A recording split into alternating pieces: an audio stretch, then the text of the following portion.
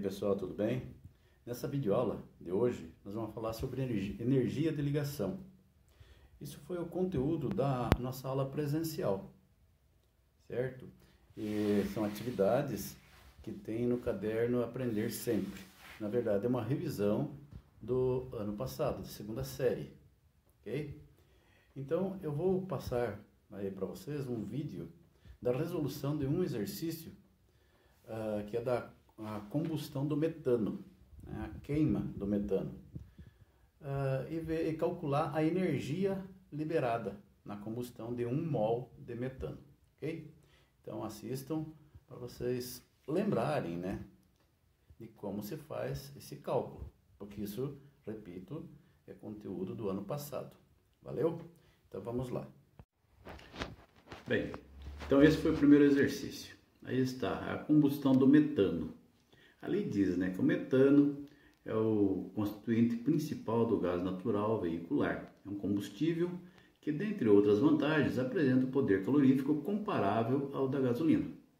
Na combustão do gás natural, o metano e o gás oxigênio sofrem rompimentos de ligações químicas existentes entre os seus átomos, que se reagrupam e estabelecem novas ligações químicas na formação dos produtos. Essa transformação química pode ser representada da seguinte forma, beleza? Bem, então o que você deveria fazer? Fazer o cálculo da quebra aqui das ligações nos reagentes para formar novas ligações e também fazer o cálculo aqui na formação, certo? Então é isso que eu vou fazer aqui agora que eu coloquei aqui no papel, tá? Então vamos passar ali para o papel.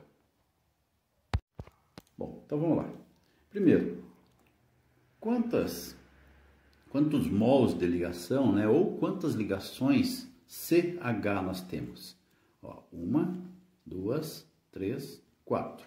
O valor de cada uma delas, segundo os dados lá do exercício, é 415 né, quilo. Então, 415 kJ. Então tá aqui, 415 vezes 4. Né? São 4 ligações. 4 vezes 5, 20, vai 2. 4 vezes 1, 4 e 2, 6.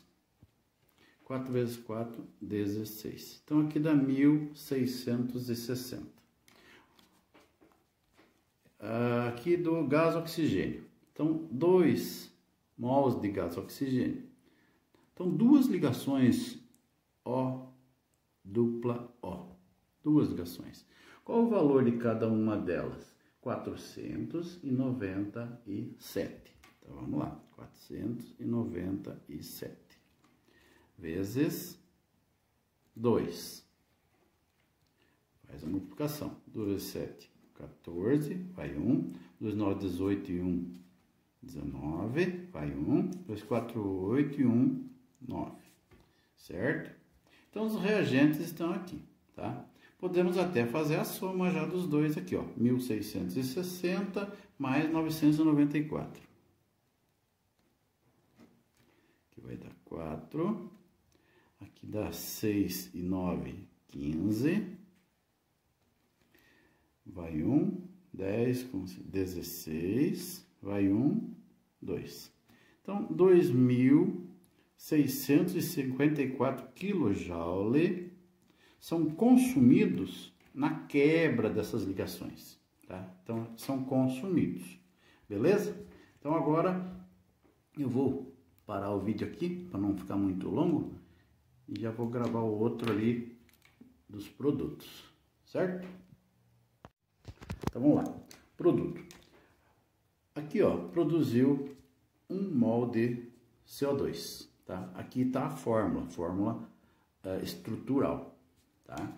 Então, nós temos aqui no CO2 ó, duas ligações O dupla C, carbono, né? Ou C dupla O, tanto faz. São duas ligações. O valor né, da, da energia né, para a formação do gás carbônico é 744 kJ, 744 kJ por mol de ligação. Então, tem duas ligações, então vezes 2. Cada O dupla C é 744. Então, multiplica isso aqui. 2 vezes 4, 8. 2 vezes 4, 8. 2 vezes 7, 14. 1488. Aqui na água, 2 mols de água, tá? 2 mols de água, então nós temos quatro ligações HO. Ó, uma, duas, três, quatro. Quatro ligações. O valor de cada uma delas é 463 kJ. Vezes 4. Vamos lá. 3 vezes 4, 12. Vai 1.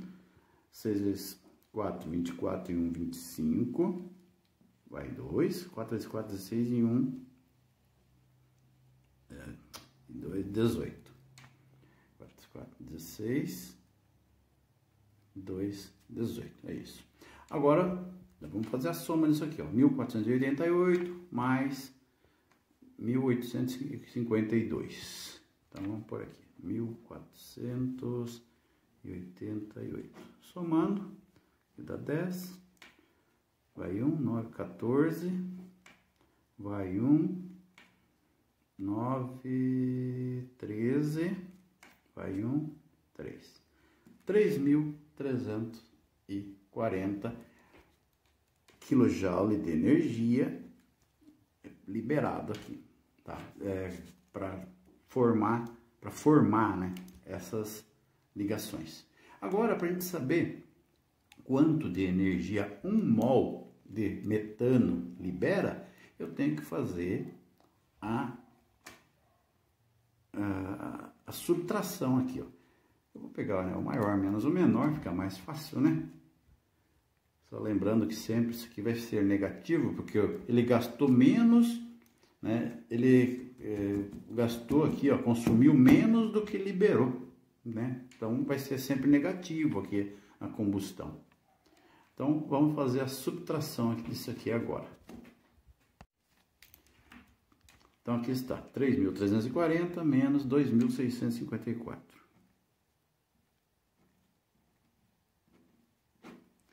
Aqui 10 menos 4, 6. Aqui 13 menos 5, 8. E aqui 12 menos 6, 6. 2 menos 2, 0.